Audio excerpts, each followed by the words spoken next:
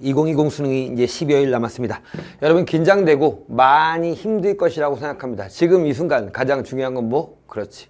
건강 관리입니다. 여러분 조금은 차분하게 수능을 기다리실 필요가 있는데요. 물론 지금 이 상황에서 막 밤을 새서 공부하고 이러면 절대 안 됩니다. 자 선생님이 이제 남은 한 열흘 정도의 시간 동안 여러분이 무엇을 해야 될지를 간단하게 말씀을 드릴게요. 7일간의 질주 정도로 제목을 잡았습니다. 물론 디데이 7일부터 2일까지라고 제시됐지만 지금 이 순간부터 하셔도 무방한 내용들을 말씀드리겠습니다. 자 수능에서 우리가 승리하기 위해서는 어떤 것들을 해야 될 건지를 하나하나 체크할 것인데요. 잘 들으시고 수능 날까지 완벽하게 정복할 수 있는 시간이었으면 좋겠습니다. 보게요.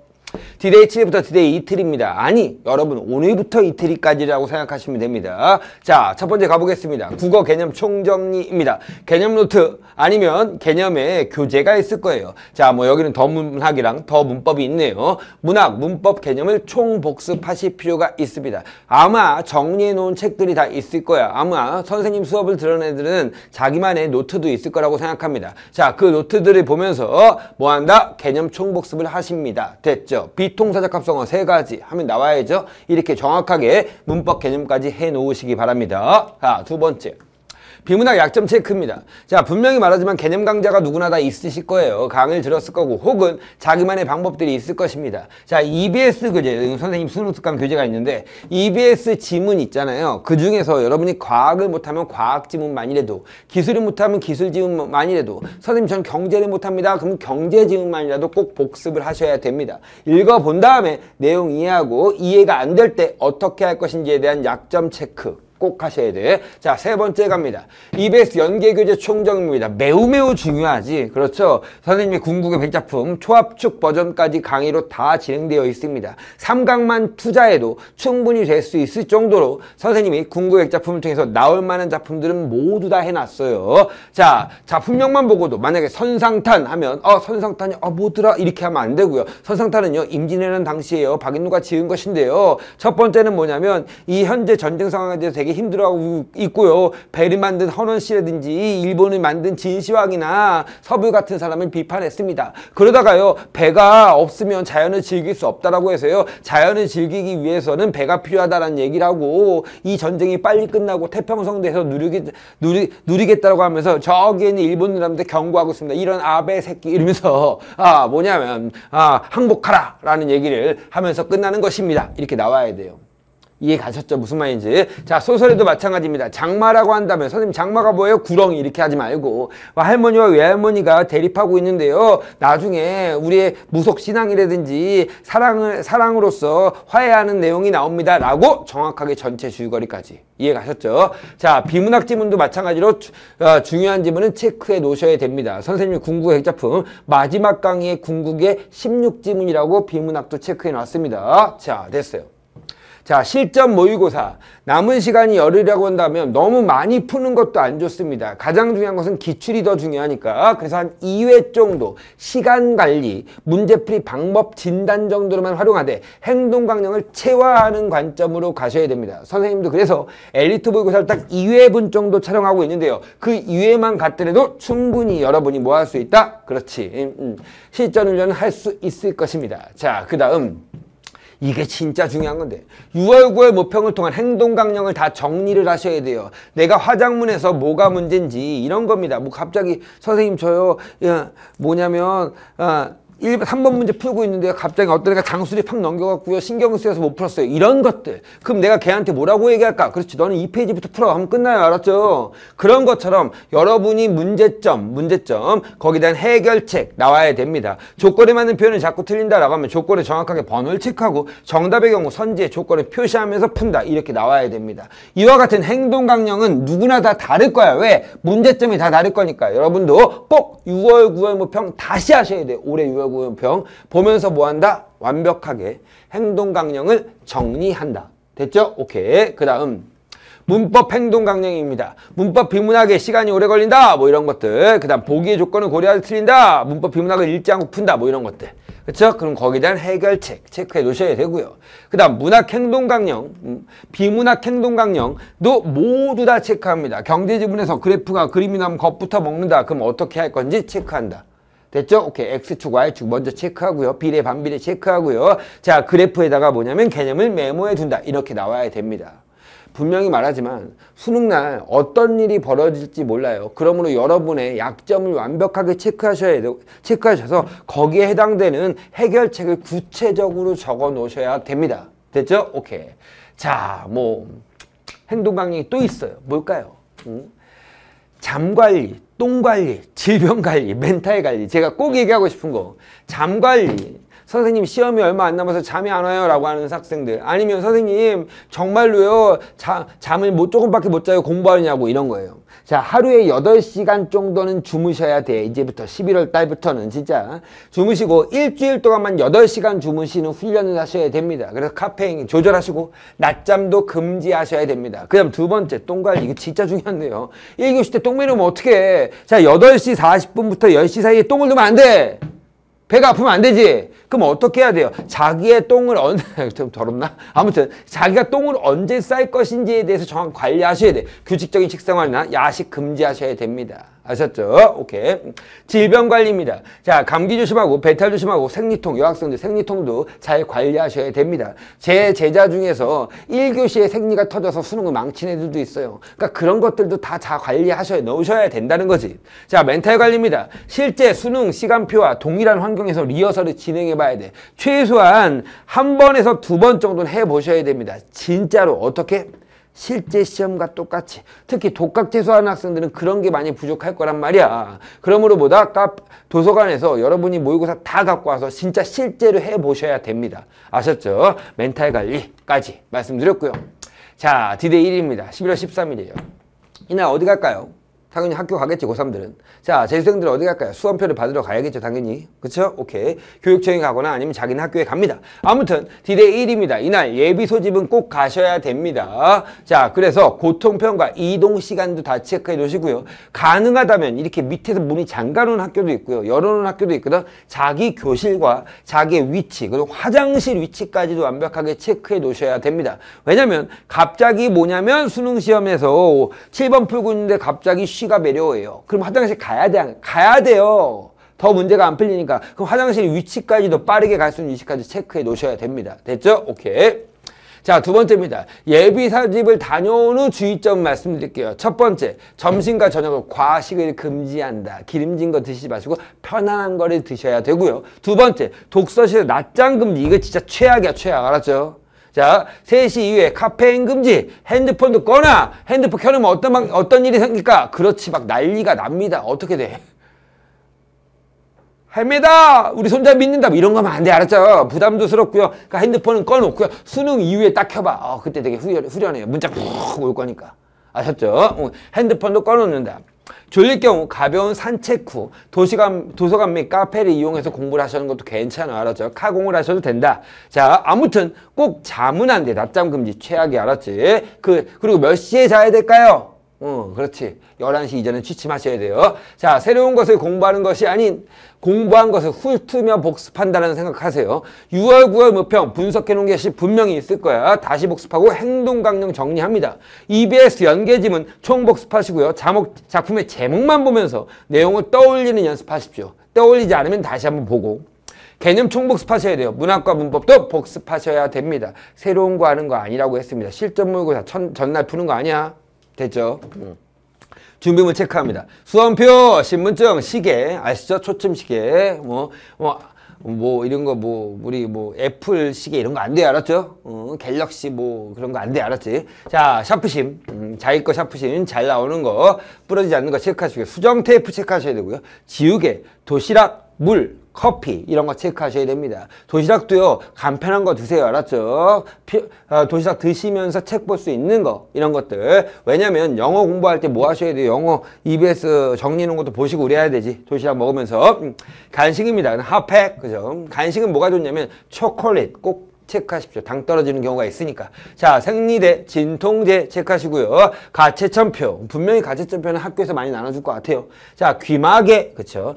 귀마개는요, 솔직히 말해서 어떨지 모르겠지만, 이 꼭 귀마개를 낄 때는 그 뭐냐, 선생님한테, 감독님한테, 음, 감독쌤한테 손을 들고 저 귀마개 좀 끼워도 되겠습니까? 라고 질문하셔야 됩니다. 자, 그 다음 마지막에 볼 책들. 마지막에 볼 책들 뭐 있을까요? 그렇지. EBS 정리집, 6, 9월 행동강령, 그리고 개념서, 문법 개념 이 정도 보시면 될 것 같아요. 자, 됐고요.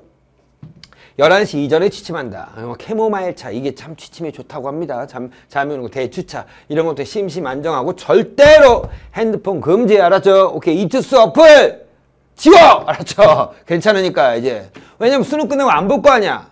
그렇죠? 컴퓨터로 보면 되는 거고 자 핸드폰 금지입니다. 음. 자, 디데이 11월 14일입니다. 드디어 우리가 우리의 실력을 발휘할 수 있는 시간이 온 겁니다. 자, 무조건 몇 시에 기상해야 되면 6시엔 기상하셔야 됩니다. 자기의 이동 시간에 맞게 최소한 7시 반까지는 뭐 할 수 있도록 그렇지 학교에 도착할 수 있도록 일찍 일어나셔야 되고요. 그러려면 그 전에 뭐 해야 돼요? 그렇지 일찍 자야겠죠. 자, 아침 식사는 평소대로 먹되 과식하지 않습니다. 선생님, 저는 원래 아침을 먹지 않습니다. 그럼 계속 먹지 마, 알았지? 됐지? 오케이. 똥 관리 필요하다고 했죠? 자, 준비물입니다. 다시 한번 체크합니다. 시계 컴사. 물론 컴사는 거기서 줍니다. 샤프. 샤프도 거기서 줘요. 음, 지우개, 수정 테이프, 물, 초콜릿, 생리대 등. 음, 아까 말씀드린 거 다 체크합니다. 옷차림은 반드시 겨보수로 합니다. 이거 진짜 중요해요.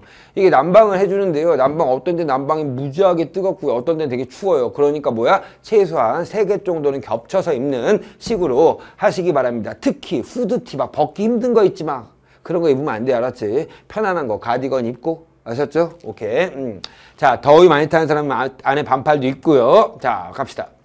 7시 30분입니다. 시험장 도착하셔야 됩니다. 시험장 도착해서 가장 먼저 해야 될 것은 의자와 책상 체크야. 의, 책상이 흔들리지 않는지, 의자가 삐걱거리지 않는지. 그럼 선생님 그럼 어떻게 해요? 그렇죠? 감독관한테 바꿔달라고 해도 되고요. 그렇죠? 의자 같은 경우는 눈치 봐서 옆에 있는 사람 바꾸십시오. 아무튼 아 그렇게 하시면 됩니다. 화장실 다녀오는 마음을 안정하고 가볍게 가지고 온 책들이 본다. 그 가지고 온 책은 뭐가 있을까? 첫 번째, 수능 리허설을 푸셔야 됩니다. 가볍게 머리를 국어로 만드셔야 돼요. 아마 바로 밑에 요거 파일 올라와 있을 겁니다. 이 파일과 또 한 게 뭐가 있죠? 그렇죠. 바로 선생님이 지금 설명하고 있는 이 파일도 있습니다. 자, 행동강령 읽고요. 6월 9일 목표. 음, 문법 개념 및 EBS 문학 한 번 더 훑어보고 시간이 되면 9월 모평을 쭉 보면서 내가 어떻게 문제를 풀고 순서는 어떻게 될 것인지에 대한 위기 방안, 위기일 때 어떻게 해결할 것인가에 대해서 전부 다 시뮬레이션 합니다. 문법 개념, 어, 특히 자신이 없, 는 부분, 뭐 예를 들어서 높임법, 의문의 변동 이런 것들 다 체크하시기 바라고요. EBS 문학 제목 보면서 다시 한번 내용 떠올리시는 연습하시면 됩니다. 8시 10분에서 20분 사이에 이제 모든 책을 다 집어넣으라고 하고 예비종이 치게 되는데요. 그럼 8시 20분, 30분까지 뭐 해야 되냐? 화장실 다녀오셔야 됩니다. 다시 한번 빠르게 한번 다, 선생님 급해요. 그럼 다 들어줘 알았죠? 자, 그 다음 전체적인 수능에 대한 시뮬레이션 및 주사항을 머릿속에 떠올립니다. 그렇죠? 오늘 해드리는 거야. 떠올리면 되고요. 긴장되시 몸을 이완시킵니다. 어떻게 하냐면 힘들면 이렇게 책상에 이렇게 와, 퍼져 있어. 괜찮아. 알았죠? 오케이. 이완하고요. 스트레칭도 좀 이렇게 하시고. 됐죠? 오케이. 자, 따뜻한 차 마시고, 마시거나 심호흡을 하십니다. 심호흡을 어떻게 하셔야 되냐면 아시겠지만 복식호흡을 하셔야 돼요. 최소한 10회 이상을 하셔야 돼요. 너무 많이 떨리는 학생들은 10회 이상. 어떻게 할까요? 배를 내밀면서 뭐 합니까? 아, 모르지, 이것도. 잘 보세요. 숨을 들이마실 때 배를 내미셔야 되고요. 숨을 내뱉을 때 뭐 합니까? 배가 들어가야 돼. 알았지? 자, 크게 코로 숨을 쉬어보십시오. 그리고 이불과 함께 내뱉는 거야. 길게 한번 해보시고 10번 정도 한번 해보시면 긴장과 몸이 이완될 겁니다. 됐습니다. 8시 30분부터 40분입니다. 제일 먼저 해야 될 건 뭐냐면 시험지 파지 확인을 할 거야. 시험지 파지 확인 하는데요. 선생님들 여기 시험지 한번 갖고 와봤는데 파지 확인 하는데 어떻게 하냐면 너무 위에만 이렇게 하지 마시고 이렇게 안 해도 돼. 넘겨도 돼. 알았죠? 대체를 뭐라고 안 그래요. 자 넘기면서 뭘 보셔야 되냐면 저 딱 봐야 될 게 뭐냐면 무조건 문학작품 제목을 마셔야 돼. 알았지? 문학작품 제목을 찾는다. 알았죠? 아, 딱 보니까 비문학 지문도 길구나. 어허, 얜 짧네. 어, 이기철의 청산행이 나왔네. 어, 유능길의 아, 장마가 나왔네. 뭐 진강용의 껍밭, 껍빛단 니가 나왔네. 이러면서 오케이. 자, 무조건 문학과 문학의 제목부터 체크하는 게 제일 중요해요. 알았죠? 됐죠? 오케이. 그 다음 뭐 하냐면 문학 제목 체크한 거 있죠? 그 내용을 환기하는 거야. 줄거리. 그렇죠? 계속 이 시간을 보내는 거야. 그리고 열심히 준비한 자신 있고 또 심호흡하는 겁니다. 이때가 제일 떨려 솔직히. 알아.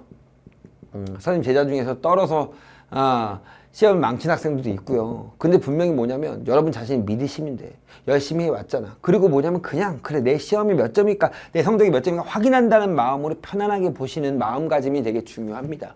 자 전체적인 시간 시뮬레이션 가볼게요. 자, 8시 40분부터 8시 58분. 가장 nice한 시간입니다. 자, 18분 동안 화법 작문 문법을 다 푸는데요. 만약에 아무리 길어도 9시까지 풀려고 노력을 하셔야 됩니다. 이건 지금부터 연습을 하셔야 돼요. 알았죠?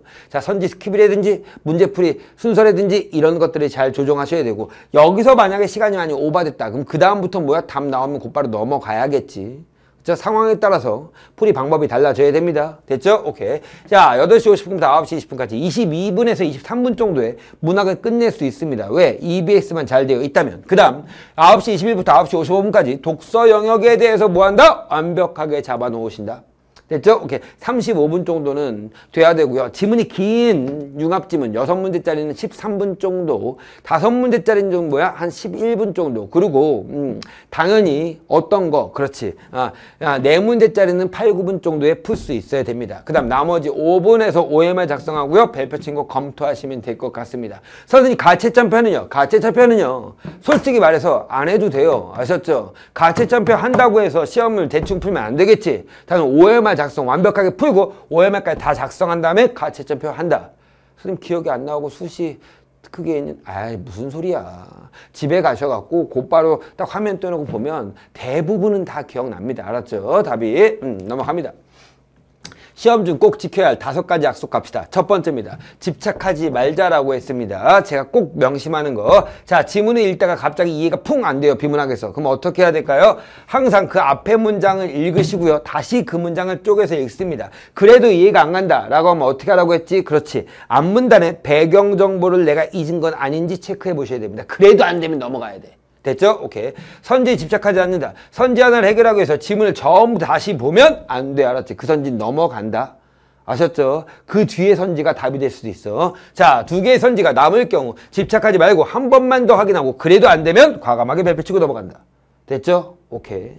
찍어도 50대 50이야. 근데 지, 뒤에 거 완전히 날리면 망합니다. 아시죠? 음. 자, 두 번째. 완전 틀린 것만 체크해라. 적절하지 않은 문제의 경우 무조건 명백하게 틀린 것 선지 찾는 거야. 특히 문학.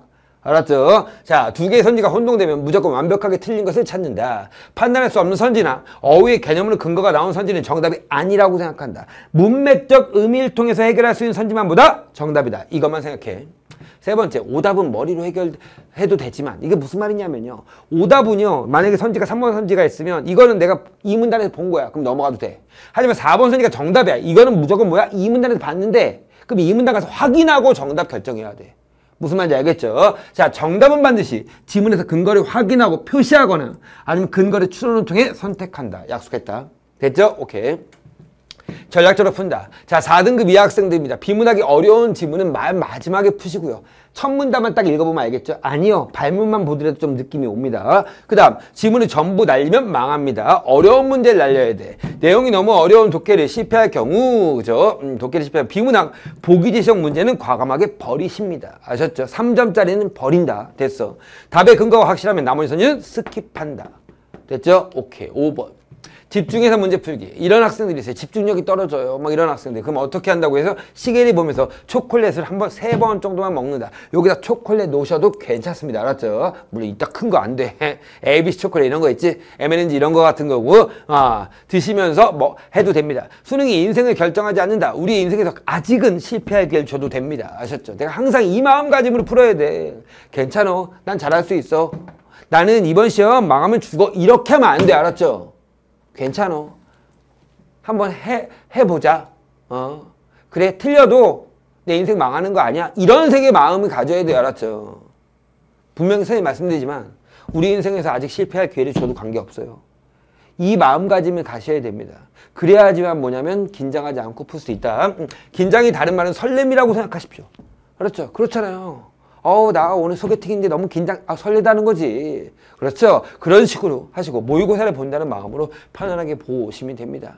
자 물 마시면 됩니까? 선생님 이렇게 물어봤어요. 근데 이런 물통을 위에다 올려놓을 수는 없어요. 그럼 밑에다 내려가야 될 거 아니야. 힘들 거 아니야. 그래서 뭐다? 여기 고리가 있는 물통 있죠? 그런 것들을 이렇게 딱 걸어 갖고 드셔도 됩니다. 아셨죠?